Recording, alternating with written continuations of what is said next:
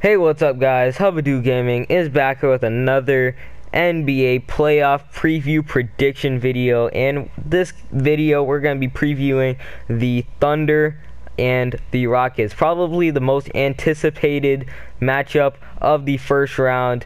MVP Russell Westbrook, he better get it versus co-MVP James Harden. I don't think there should be a co-MVP, but I'm just saying that because he's basically the second MVP because got to show respect. He's had a great season as well, but Russell Westbrook, he nobody has had any season like him. So he has to be the MVP. So enough talk about the MVP. We're talking about the series, all right? Oh man, I'm tired. It's 3 a.m.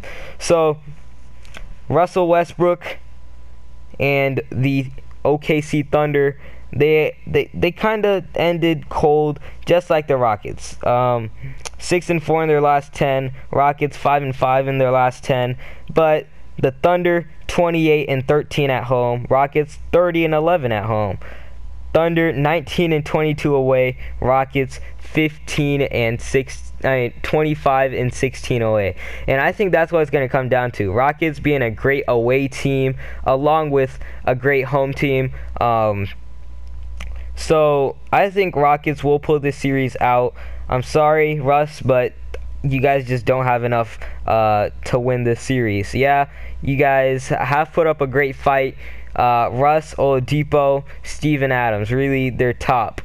Um, but James Harden, he has James Harden, he has Capela, he has Ben Gordon off the bench. He has Lou Williams off the bench. He has Trevor Ariza. These guys are all just three point specialists, except Capela, obviously. But him and Capela run that uh, pick and roll better than anyone else in the NBA. So I think that's what it's really going to come down to the away record. Um, I think Houston pulls it out in six um, in OKC, but it's going to be a great series. Last time these two teams met, uh, Russ had 39 points, 11 rebounds, and 13 assists. This man is unbelievable. He really deserves more than this trash team, but what can we do? Um, but the last time they played, the final score 125 to 137. So it's going to be shootouts after shootouts. Which team can shoot better? And it's gonna it's gonna be the Rockets because the Rockets I think they made the most three pointers in a season.